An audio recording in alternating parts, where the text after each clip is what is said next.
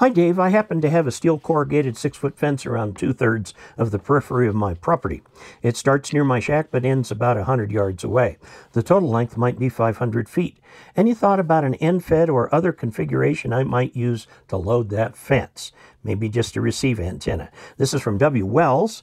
3956 on which is a better receive antenna, long wire versus resonant antenna, 1006. It used to be that older receivers were built around the idea that the input was a voltage and they didn't care what the impedance was. Nowadays that's not true. They're expecting a 50 ohm input, so you do need a tuner or something like that. Now, here's a big if.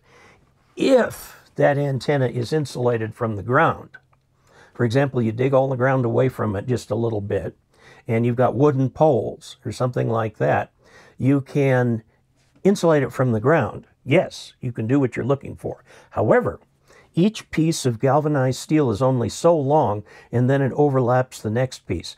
I would attach with a nut and a bolt using stainless steel hardware and a little piece of wire to connect one panel to the next all the way around. Now, you will need to feed that with an antenna tuner. The reason is because a long wire, in order to feed a 50 ohm radio, is going to need enough inductance or capacitance added to be 50 ohms when it comes into the radio. Now, we tried something the other day in a recent video that we did as a supplemental video to one of my Ask Dave columns in QST. What we did was we took automatic antenna tuner, remoted it where the beginning of the antenna was. This was the antenna right here. That's about 35 feet of line and we just put that up to a pole and put the antenna tuner right at the end of this. So this went directly into the antenna tuner. There was no transmission line between the tuner and the antenna. Of course, there was transition line between the radio and the tuner. And I just took a 12 volt battery out there to power the automatic antenna tuner. Loaded up just beautifully on all the bands we tried it on. Yes, you could do that. You want to get one of these remote antenna tuners, like from LDG, or call DX Engineering. They can recommend a tuner for you, and you can try loading that up. Now, there's one caveat. That entire antenna becomes an RF hazard for anyone who touches it.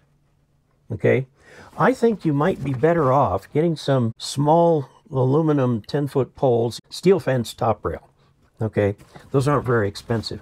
Put up a few of those along that fence and string your long wire between them out and around. Okay, that way you don't have the RF hazard in the fence, which I think could be a deal breaker depending on condition. Otherwise, you'd have to mark it just like you mark an electric fence. So there you go. Until we next meet, 73.